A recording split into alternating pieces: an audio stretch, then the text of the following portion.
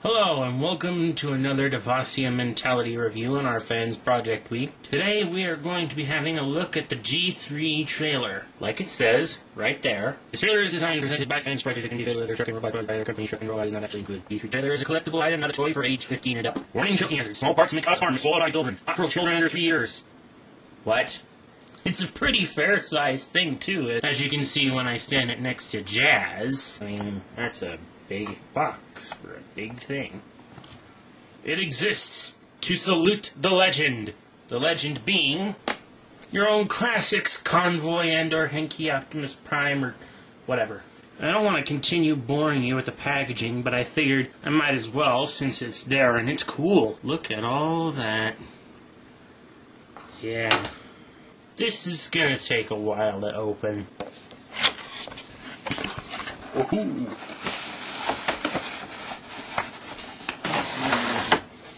I mentioned these things come with instruction booklets?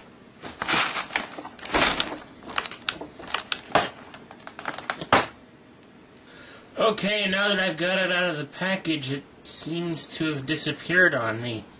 Uh, damn that thing, where'd it go? Reappear, damn it! Oh, so that's how you've been hiding. Yeah, that's one of the interesting features about this particular trailer thing is that these mirror panels and applied to the outside of the trailer as a way of sort of making it look semi-invisible. This is kind of a throwback to how Optimus Prime's G1 cartoon character would always end up having his trailer disappeared whenever he turned to robot mode. Well, now you have a somewhat more plausible answer. It turned invisible via mirror things. That display out of the way, here is Henkei Convoy, towing said trailer. It works a lot better than those armor boxes because, unlike them, this guy can actually have a rotating axis back here so that he can turn and not have to worry about sliding into a, another truck or a building. Unlike the Commander trailers, it is functional outside of being a gigantic box carried by this transforming robot semi-dude. Let's first start with some backwards interaction with this thing. You see, on the back of the trailer, you've got this bumper and this sticker. You can fold it up, and underneath, you'll see this big chunk of something that you can fold out and unfold into something that you can hitch this thing onto, like so. So now you've made yourself a one convoy convoy, which uh, is neat, I guess, but ultimately probably way too cumbersome. So fold that back up, fold this stand down from underneath. Open up the back of the trailer. Open the doors. Pull the ramp down. Slide it out. And then do something off screen to accomplish this. And now we have the roller. The little guy who's always sitting inside Optimus Prime's trailer. He rolls on a ton of wheels. He can extend, fold bits of himself outward to accommodate something that I don't actually own because I got the Japanese exclusive version of the Commander armor for Optimus Prime. But you know, it works for other things like smokestack gun. That's pretty neat.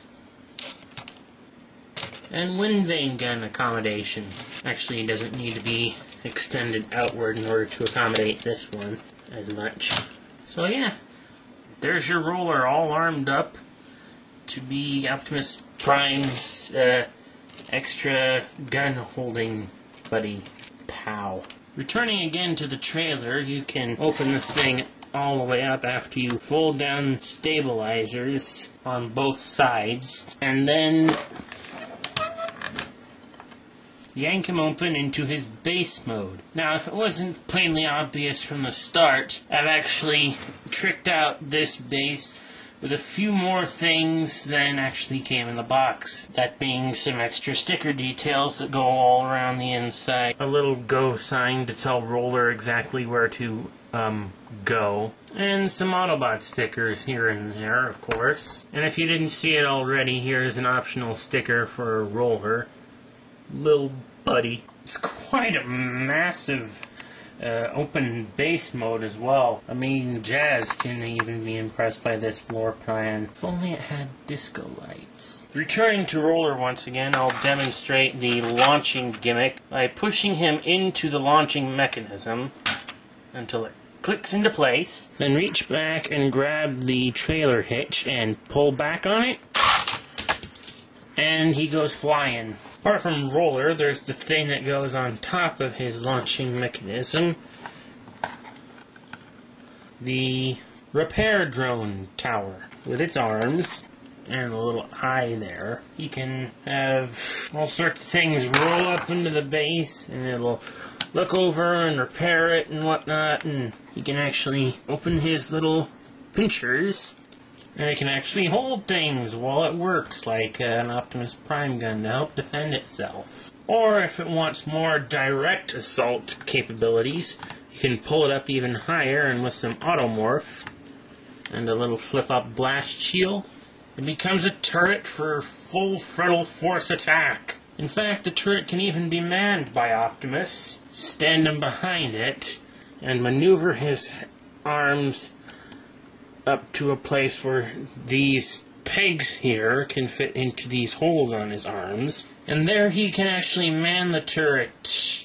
It looks kind of weird, though. I mean, he's really hung on to it, and it doesn't really look like you could see anything over the top of it, even though there is a scope in the back here. See that little sticker? Yep, there you go. Finally, after all that gimmickry is covered, there comes the one last feature of the set, that being the weapon storage. Now, this thing can store your Optimus Prime's default weapons. His wind vane gun can go on a peg there. And his smokestack gun can fit into a thing there. Actually, I would recommend not using Prime's smokestack gun because it's painted and it might end up chipping the paint. Also, if you got Ultra Magnus's upgrade set, there'll be a little thingy here that you can hang his gun on, although it's not all that great. But all that aside, you have other things like these chrome weapons here and here. Now those are to display with other figures. Those extra weapons can work for any of the Lamborghini molds having a shoulder missile launcher, another shoulder launcher for Mirage, a little handgun for Bumblebee, which makes this stupid thing superfluous now, an actual gun for Hound instead of this stupid hologram projector. And finally, a Grimlock sword that is very reflective in this lighting condition.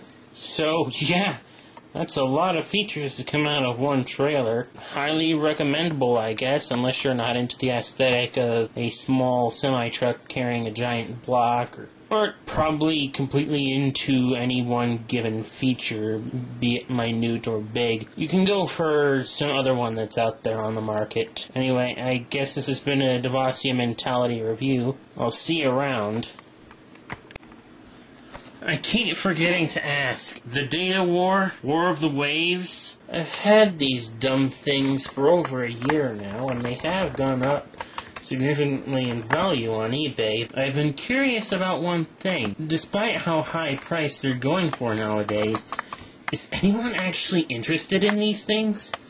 Because I've been back and forth on whether or not I want to make a profit off these things or just rip them open and have them for, you know, display purposes. Okay, that's the end of the review now.